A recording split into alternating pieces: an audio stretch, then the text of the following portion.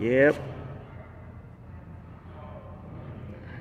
That's what's happening in the world today. Here's my uh, my shot at uh, political satire.